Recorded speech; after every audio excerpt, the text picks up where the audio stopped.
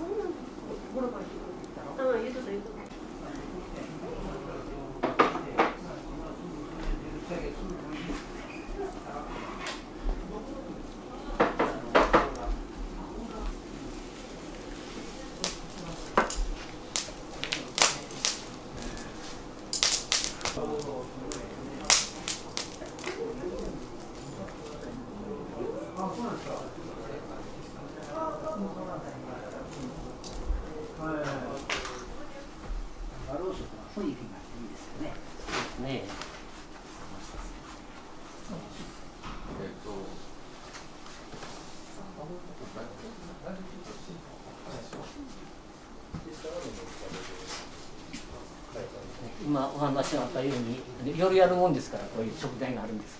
はい、もうこの内あの内海というかね、はい、富山湾側に鹿で今日はここだけですかないので輪島の方行くとみんな塩沢です、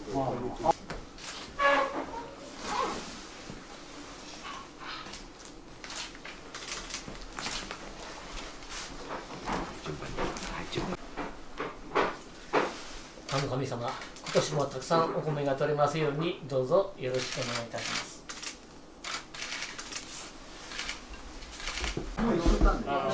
皆さんすいません。あの帝国なんですが、えーと、お客様でご予約の方、えー、こちらに向かってらっしゃる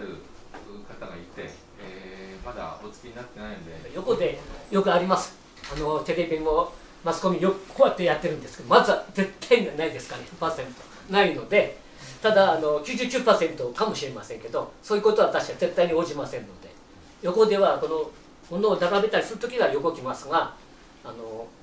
横でこれは何ですとかという説明多分出ます。出ますけど私は絶対しませんのでそれはあのあの 他で見たのと違うとおっしゃられてもしません、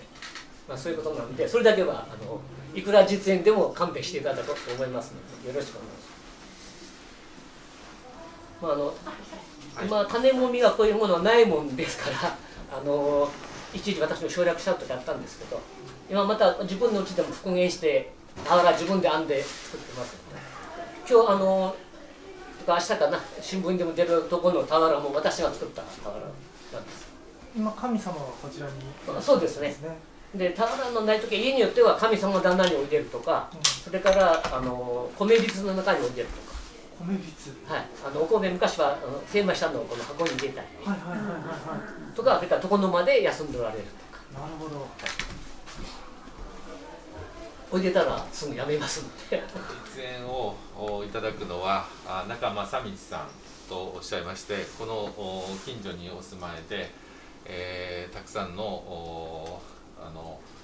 田んぼを作って、えー、いらっしゃいます。以前はあの県の、えー、養殖を歴任されて、えー、今は専業農家でいらっしゃいます。で今日あの皆さんにご覧いただくのはあえのことえー、私どもは田の神様と言い習わしております、えー、はい、ご紹介いただきました。中です。どうぞよろしくお願いいたします。で今日はですねあの今ほど武井さんおっしゃられた通りそれでもねこちらの方では雪がこれだけあの深いもんですから今雪を掘って田んぼに返すところはあのこの付近ではありません今あの今日雪を掘ってでも田んぼにあのご案内してそういうところも多分出てくるかと思いますけどもあのもう一月遅れの3月の今頃に田んぼに出てもらうというのがこの辺のあの習わしです。でですから今日はあの田の神様をあお守り種もみもお守りしていただいてるのをすぐお風呂に張って休んでいただいてそれからお風呂終わってからこちらのご馳走を食べていただいて、えー、そしてあの庭ってそれ土間のことをね昔庭といってそこに農作業したんですよ。俵編んだりむしろ編んだりいろんなことをしました。縄を編んだり。でまた今ちょうど俵を編んでいる最中なもんですからあの守ってもらうそこで家族をまた見守ってもらうということでもう一月ほどその土間の付近にいてもらうと。で昔はカチュースと言いましてあのもみをから玄米にしたり玄米をあの白米にする時にこう杵で椅子でやったんですけどもそこにいつも案内しとったんですが今それがないもんですから最後はその雪川公園の出口で、えー、叩きで収めてあの終わりにしたいと思いますので途中例えば30分とかお風呂も30分とかそんなふうになるんですがそこで待ってたら皆さん大変でしょうから今日はあのお風呂にまお案ご案内して、えー入っていただいてちょっと待ってすぐあのまた上がっていただいてあのご案内して、えー食事をしていただいてその後に皆さんにあのいろんなまたご質問等にお答えしたいと思います。その神様はあの田を守りあの一緒に野作業もされるということであの泥とかですねあの枝の葉あの葉っぱとかあのもみの野毛とかで目を痛めておいでるということでうちによっては全然見えないとか片目だけだとか見えにくいとかそういうの設定になってますので田の神様をお風呂に案内する時にはそうやって私の家ではこうやって足元に気をつけてくださいという形でこの辺を歩きますのであの何を言ってるんだということじゃないってそういう意味で目が悪いというおっしゃるんですから、まあ、あのご案内するということになりますので。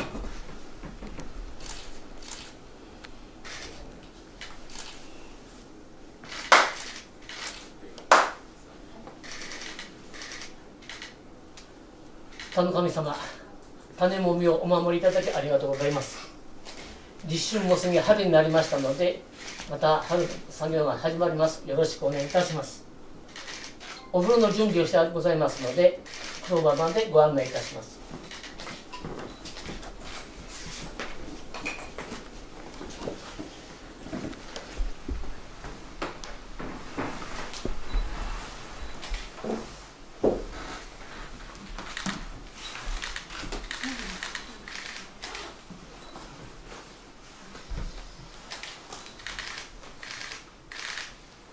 どうぞごゆっくりお温まりくださいそれからうちも私小さい頃こういう桶に横の方にこのあの鉄板の輪っか丸いのが入っとってでそこからこう薪を入れてあの沸かしてやったもんですね。あれってあれのこと専用とか？いやいやあのじゃなくて昔は私の家でもこういうあの風呂桶だったんですね。昔水道がないから川とか山の水沢水とかを運んで入れて沸かしたりしてたんですね、まあ、シャワーもないし私の小さい頃まで私もこういうお風呂に入っておりましたでこれは本当は下にかまどがあった五右衛門風呂かなんかみたいなもんだと思うんですけど、まあ、こういう桶であのお風呂入っておりました。でちょっとあのふあの田上さんは夫婦なんですがちょっと狭いとこ2人一緒に貼っていただいているということでまあ私みたいにあんまり大きくなるのかもしれませんし、まあ、とにかくそれはもうそういう真似ということなのであの勘弁してほしいと思います。じゃああの30分と経過したということで、えー午前のところにご案内させていただきます。十分温まれたでしょうか。座敷に午前の準備ができましたのでご案内させていただきます。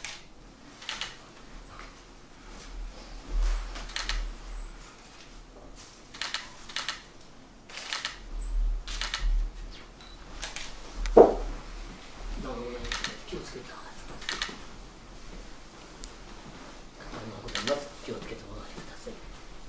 いもう一度ございます気をつけてお上がりください。人間の大がございます。気をつけて。お上がりください試験がございますので気をつけてお上がりください。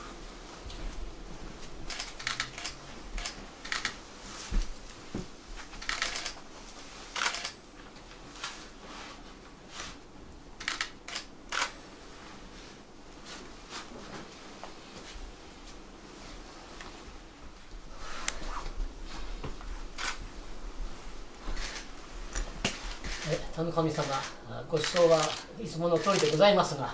えー午前のご飯は小豆飯でございます。それから汁はあタラの汁でございます。そして真ん中のヘラは家で取れたものばかりでございます。なお向かいの刺身は、えータラの小漬けでございます。酢の物は、えー大根のマスにタラの子をまぶしてございます。それから好物のおはぎ甘酒甘いものも準備してございます。おかわりも十分ございます。どうぞごゆっくりお召し上がりください。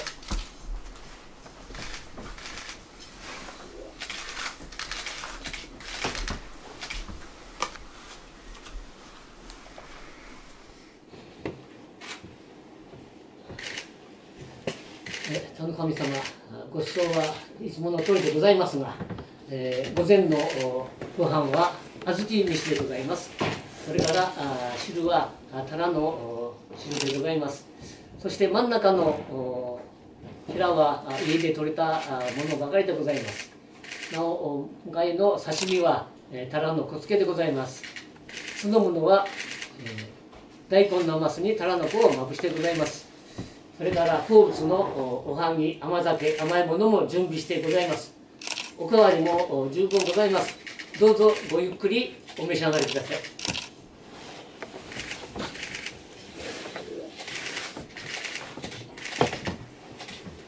家族で食べる方に持っていこうというふうに思ってますのでどうでしょう？あの皆さん後で質問していただくのにしてもうもうさこれも30分ほど経ったということでよろしいでしょうか？であのまたあの田の神様を先ほど言ったようにその庭で作業するところにあの家族を守ってもらうということで庭先っていうのは玄関先まであのご案内して、えー一応動作の終了ということに、えーさせていただきます。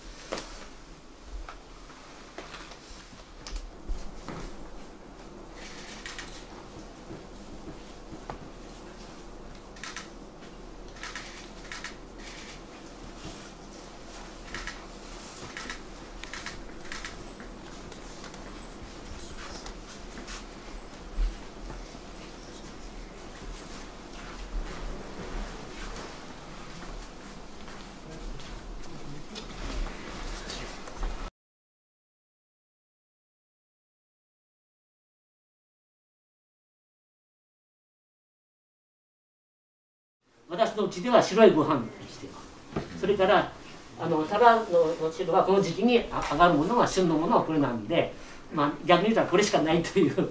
ものですね。でタラの小漬けあの地域によって他の県に行くと食べないという人もいますけどタラの実にあのタラコのいったものをつけてあります。これはタラコをたくさん入れたりこちらの方は大根の甘酢あのえー人参もちょっと入ったりしますけどそこにもたらこをたくさん入れるんですね。このたらこをたくさん入れるのは、えーこの米、えー稲の穂の花とかもみがたくさんつきますようにという意味があります。それはただ旬に あのあるものをうまいことこういろんな理屈をつけて、えー食べられるようにした。で全部オーブンに切ってありますからこのでっかい実もすごいでかいんですよ。あの分けて食べるんですからね。できるだけでかい方にしてでお迎えの時にはちょうどブリが最盛期のもんでブリなんですがただ私みたいな家だとブリが高くて買えない時にはその手前のあれ主成語ですからね。この辺ではガンドと言いますけどあのブリガンガンドブリとかねちょっとちっちゃい下キロみたいなやつをとかそれよりももっとあのちっちゃけな膨らみとか油はちょっと乗ってませんけどそういうものであのしたんでで今はあのタラが最盛期でこういうふうにしてタラの小付けするのは、あのえー、もみの花がたくさん咲くようにまたもみがたくさんつきますようにという願いが込められております。であの汁はあのお迎えの時にはあの自分の家で作った納豆ですね。納豆汁でやりましたけど私の小さい時はあの豆腐もうちで作りましたね。この家潰す時にもまだありましたけど豆腐がこがあったり。それから甘酒はあのー役人の年貢の見立てを甘くしてほしいと。いうことであのその二百数十年前の一揆やった時もやっぱり役人ねここにいる役人は自分の親戚を通したくないもんでその祈願の状態を報告せずに例えばあれ毎年本当はきちんと見て今年は一旦分に一票しか取れないとかそういうあの見あの見聞をするんですがそれもせずにやったためにその一揆が起きたとかね数年間。ほんであの前田藩あの前田藩じゃない加賀藩の前田の父さんのあのあれで実際あるんですよ。むやみに血の皮と泥をまぶして食べるなというのをこれまでこう言ってるんです。それだけ食べるもんなかったんですね。それだけ絞られてきとったもんですから一気も来た要するにあの水戸黄門みたいに悪代官っていうのはやっぱあったんですわであの隠れて本当にそうなんですよ右室で出雲屋というあのトイあのお店を勝手に自分で仲間あの商人と一緒になって米を怪我ですからたくさん高く買って高く売っていたというでそこに一気してで討ち入りしたというのはちゃんとこちらの過去帳記号帳って書いてありますからちゃんと全部記載あります。そういうことなんでそういう歴史200年前の歴史もあってこういうことをしてますのであの甘酒はあの甘く 見てほしいと。あのキープしたのと違うなだから小豆あのこの今なら春はボタンボタン餅ですね。これも甘いものであのうちのあの子供らも子供にもたくさん食べさせるということで大きくたくさん作ってました。で八目は本当はあのできたらあの上がる鉢面の方がいいんですけどあのタイに見立てて太鼓の味取れないんですよ。ね、今あの50年100年あみんな見てくださいこんな瀬戸内からタイを運んでるはずがね卓球でもない頃ね。でこの辺で一番取れるってあの